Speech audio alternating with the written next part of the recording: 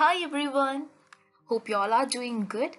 So today we are going to learn about atraumatic restorative treatment or in short ART.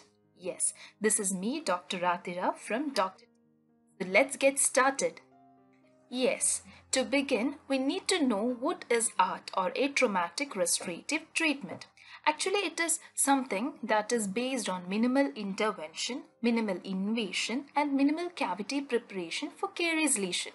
Okay, so ART is defined as a minimal invasive care approach in preventing dental caries and stopping its further progression. And it was given by Joe E. Franken. Okay, in 2012, he was the first one to use ART in his clinics. Now let's see what are the principles. Yes, there is only two main principles for art and those two principles are the first one, very simple, removing the caries tooth tissue only using hand instruments and next restoring it with a material that sticks to the tooth. Now you must be wondering why only hand instruments, isn't it? Yes, now why? Because it requires only minimal preparation of the cavity, isn't it? So we need to conserve as much as sound tooth structure and also we should cause only less trauma to the patient or no trauma to the teeth. So for that is that is one of the main reason why we use only hand instruments. That hand instruments have lesser cost when compared to any electrically driven dental equipments that we use like air rotors or micromotors. Mostly that there is very limited pain and the need for local anesthesia is almost minimum or you can say there is no use and even that can cause reduced psychological trauma to the patient and moreover hand instruments we can simply you can in, uh, do infection control for that isn't it? You can sterilize those. But uh, you know how we how difficult it is to sterilize or to disinfect our micromotors and air rotors. So compared to that hand instruments can be easily sterilized Now, till now, that is, uh, glass ionomer cement is known as the best restorative material and that is the one which is performed in art. The reason why because glass ionomer cements can stick chemically to both the enamel as well as the dentin and there is only less need for the cavity preparation because glass ionomers will stick to the tooth well rather uh, when we are check when we're telling about the amalgam or you need a definite cavity preparation. In glass ionomer you don't need to prepare much cavity preparations. And not only that glass ionomers they will release fluoride from the restoration and that can prevent as well as arrest the caries. Then glass ionomer cement these are more biocompatible. It means it does not inflame the pulp or gingiva Now let's see what are the indications. Now we can use this only in small cavities. That is cavities that are accessible to the hand instruments. And basically we do this art procedures in public health programs. Like if you're conducting a camp we does do this art in such cases. Now let's see what are the contraindications.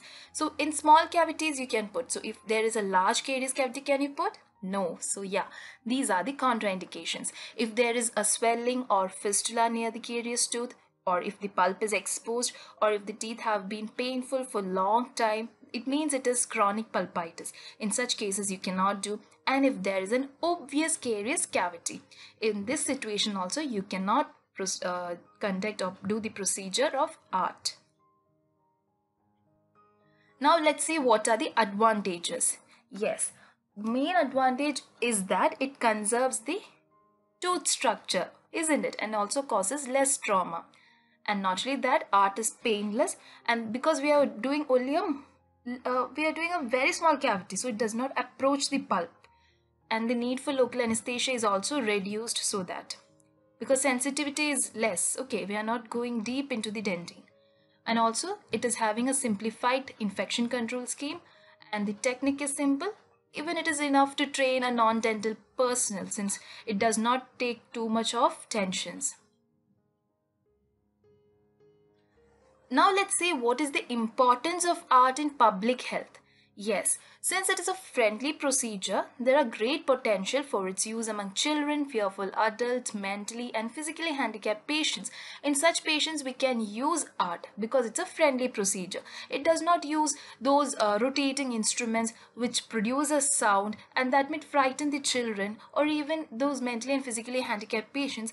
They may it may give them a you know mental stress so we avoid all those and since it is a friendly procedure, it is having a great importance in such person's life. And also it makes the restorative care more accessible for all population groups. Artists are, and also not only that, it is very cost effective as we have mentioned before. Now let's see what is the how does the procedure happens. Yes, first you need a good working environment, isn't it? Inside the mouth as well as outside the mouth. Then you need to control the cross infection. That is you have to maintain a hygienic environment, aseptic environment. And then you can restore the cavity. So now let's go in detail. Working environment. You need a good working environment. First one is outside the mouth. So outside the mouth means what? Yes, it uh, says to the operator as well as if he has an assistant. So the distance of, from the operator's eye to the patient's tooth, it should be approximately 30 to 35 centimeter at least. And if the operator is working with an assistant, then the assistant's head should be 10 to 15 centimeter higher than that of the operator. This is the position that they should maintain when they are working. This is outside the mouth. And also obviously you need a good uh, chair with, you know, headrest and good lighting facility. Natural lighting is also good, but then also an uh, lighting facility if possible. These all comes outside the mouth. Okay. Now inside the mouth, inside the mouth you need to control saliva around the tooth that is being treated. So for that what can we do? We said it is a cost effective procedure. So we cannot use rubber dam in such cases and there is no use like you don't need to use rubber dam over here because we are not preparing so much isn't it? Only a cotton wool rolls should be uh, that can provide a short-term protection from saliva. So cotton wool is more than necessary because we don't use much of water. Since we use from air rotors or from, from air rotors, what happens? The water also gets pumped, isn't it?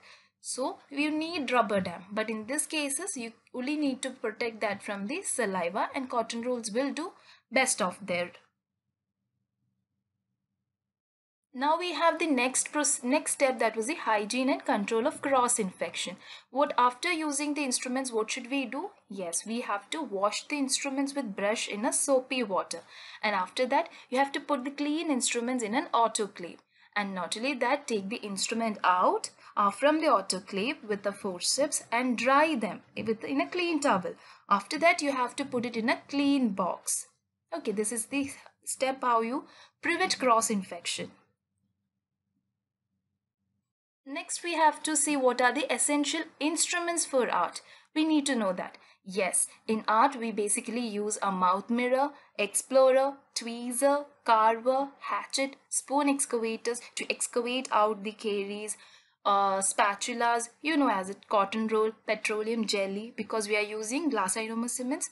So we need petroleum jelly so that there is no water salivary contamination after placement we need wedges to have rapid separation of the tooth. If we want something to if the plastic strip is not entering in such cases then glass ionomer cement. So these are the instruments major instruments at least you should have for doing atraumatic restorative treatments. With that we finish off the topic and hope you all understood. Have a nice day ahead